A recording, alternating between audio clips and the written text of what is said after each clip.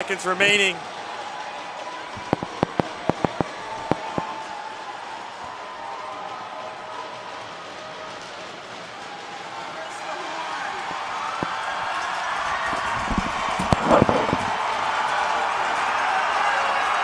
Final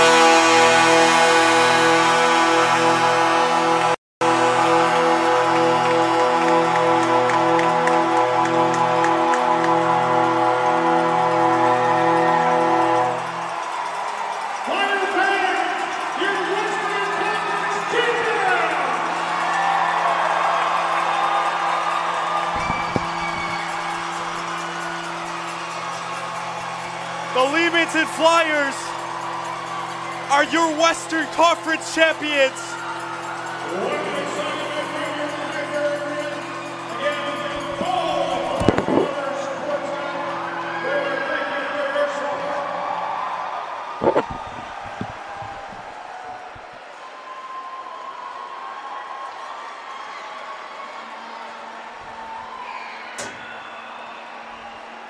All right, now here's your special It was an outstanding series between these two.